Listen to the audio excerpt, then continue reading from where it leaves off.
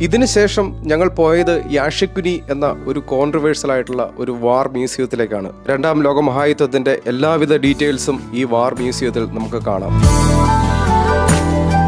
ഈ മ്യൂസിയത്തിന് മുമ്പിൽ ജപ്പാൻകാരുടെ ഇന്ത്യൻ ഹീറോയായ ജസ്റ്റിസ് രാധാ വിനോദ് പാലിന്റെ ഒരു മോണുമെന്റ് ഉണ്ട്. രണ്ടാം ലോക മഹായുദ്ധത്തിന് ശേഷം നടന്ന യുദ്ധവിചാരണയിൽ ലോകത്തിന്റെ പല രാജ്യങ്ങളിൽ നിന്നും ഇവിടെ എത്തിയ പതിനാല് ജഡ്ജുകളിൽ ഈ ഇന്ത്യൻ ജഡ്ജ് മാത്രമാണ് ജപ്പാന് അനുകൂലമായി വിധിന്യായം പ്രസ്താവിച്ചത്. അതിനുള്ള ആദരക സൂചകമായിട്ടാണ് ഈ ഒരു മോണുമെന്റ്. ദയവ് ചെയ്ത് നിങ്ങൾ ആരെങ്കിലും സബ്സ്ക്രൈബ് ചെയ്തിട്ടില്ലെങ്കിൽ എന്റെ വീഡിയോ സബ്സ്ക്രൈബ് ചെയ്യുക. നിങ്ങൾക്ക് എല്ലാ രാജ്യങ്ങളിലൂടെയുള്ള എന്റെ യാത്രകൾ കൃത്യമായി ഞാൻ അപ്ലോഡ് ചെയ്യുമ്പോൾ നിങ്ങളുടെ മുമ്പിൽ എത്തുന്നതായിരിക്കും.